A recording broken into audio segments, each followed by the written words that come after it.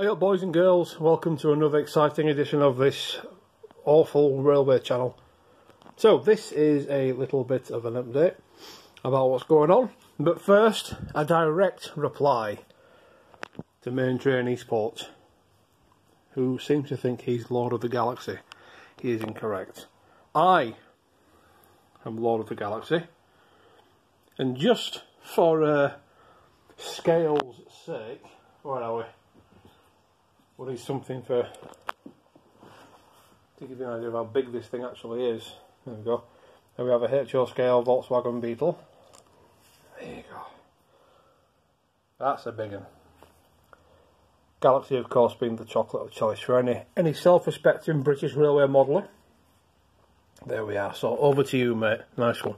Anyway, let's crack on with this nonsense. As you can see, we've started by laying some of this concrete fencing, which obviously I've designed myself with the uh, the software that I use. We're going to landscape this area using PVA glue and regular tea bag tea, as well as some other bits and pieces as well. Let's crack on. Alright, so we start by pasting the whole area with neat PVA glue and then we're going to use a nice plastic spreader.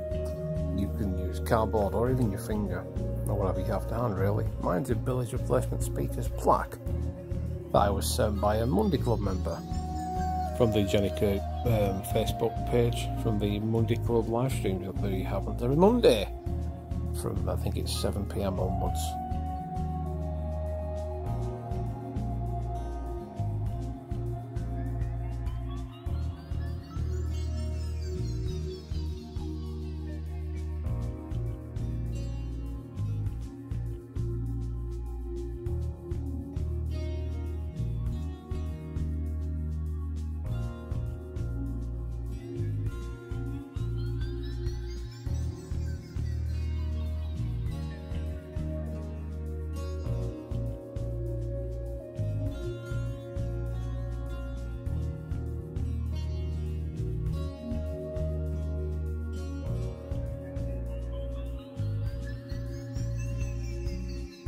Make sure you get this PVA all over the place into every little nook and cranny. Try not to miss any areas, otherwise your tea leaves won't stick properly. And again, I'm just using, it happens to be Yorkshire tea, the best tea. You can use whatever tea you want. I'm only using Yorkshire tea because I'm rich and famous. Obviously, if you're a bit less affluent, I recommend using cheap tea from the uh, off license.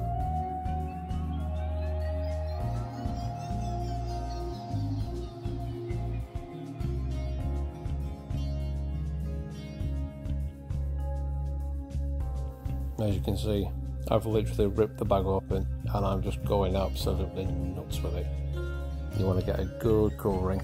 I think I used in total about six bags, maybe seven. Just spread it around.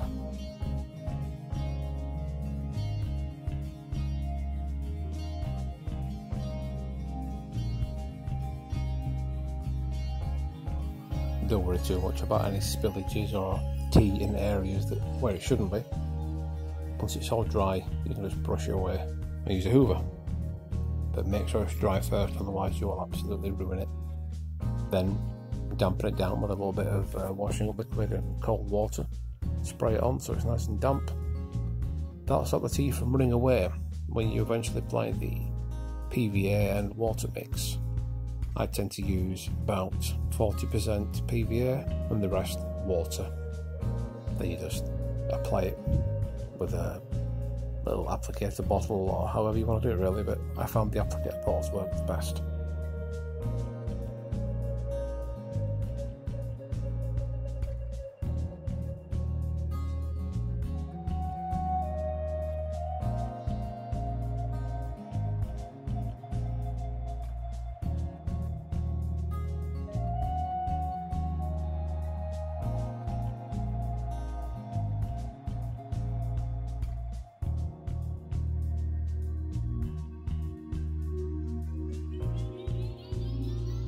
Gloopy gloppy splotchy splish. This is the best bit really. I uh, have no idea why, but this is my favourite part. Blathering everything in PVA is very, very satisfying.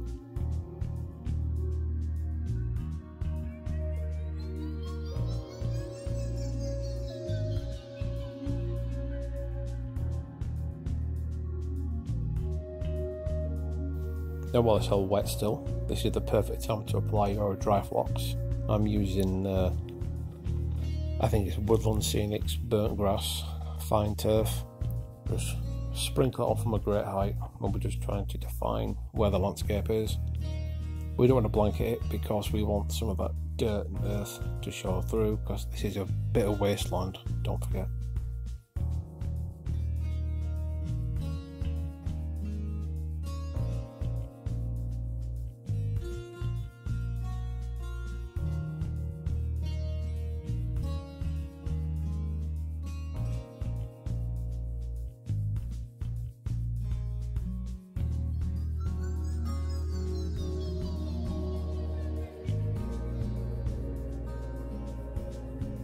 Then you can start to add uh, different grades and coarseness of flock. This is a uh, Woodland Scenics one.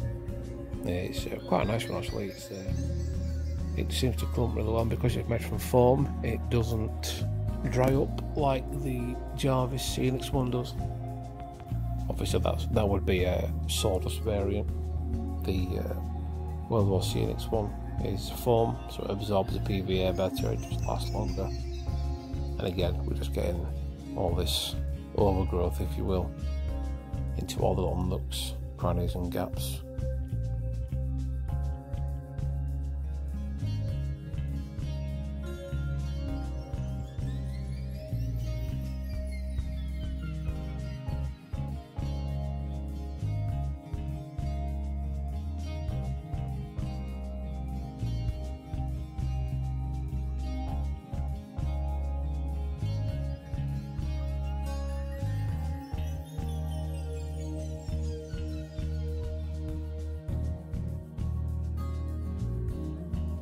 and then we're just spraying down again with more water and water liquid. Then we're going to stick the fence in. Now there's no need for any extra glue because it is literally being splodged into a base of wet PVA and sticky flock so it's going to hold it up pretty nicely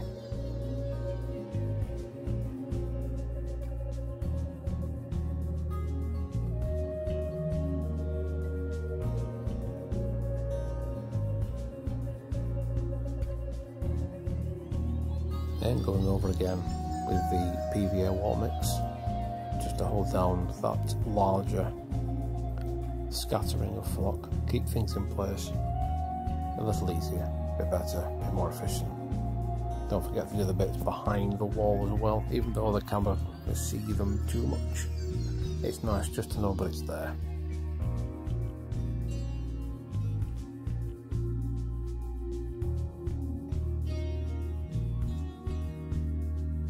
There, we're just going to have a bit more tea, just to make the, uh, the earth a bit more um, obvious, if you will, make it stand out a bit better. And of course, once all this is dry, we're going to go over it again with weathering powder, just to even out the tones a little bit, make it a bit more contrasted and what have you.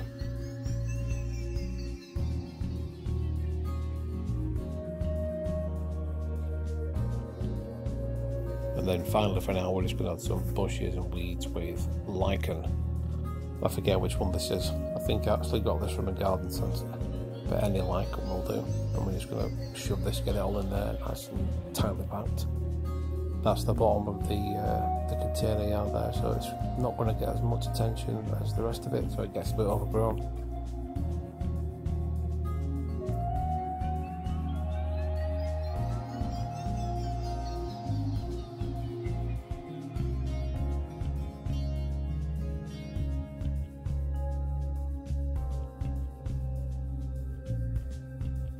And that's it. Things we're going to add later on. Hopefully, a bit of debris, a bit of rubbish. I'd like to add maybe a cameo scene with a burnt out car being stolen.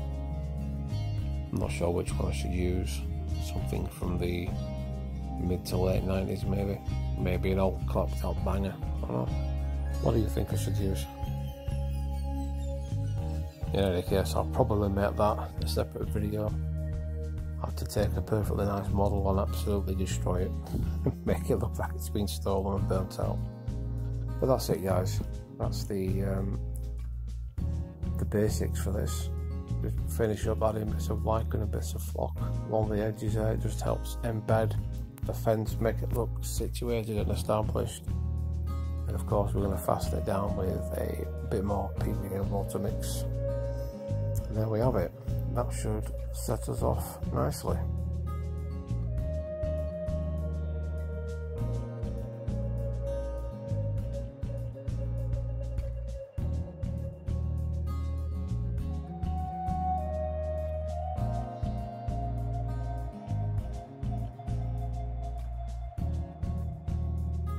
And again, we're just putting some bushes and weeds on the back side of the fence. Even though the camera isn't going to see it too often, it's just nice to know that it's there, just in case the camera does catch it.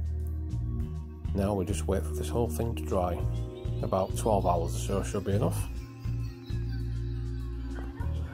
Right then, that's the main bits done. We've got the underbrush in there, the main dress, the base of dirt and what have you, the walls. Retrospectively, I should have put this wall in after, like I did with that wall but once all this is dry I'm going to go over it again with weathering powders anyway so you won't to tell.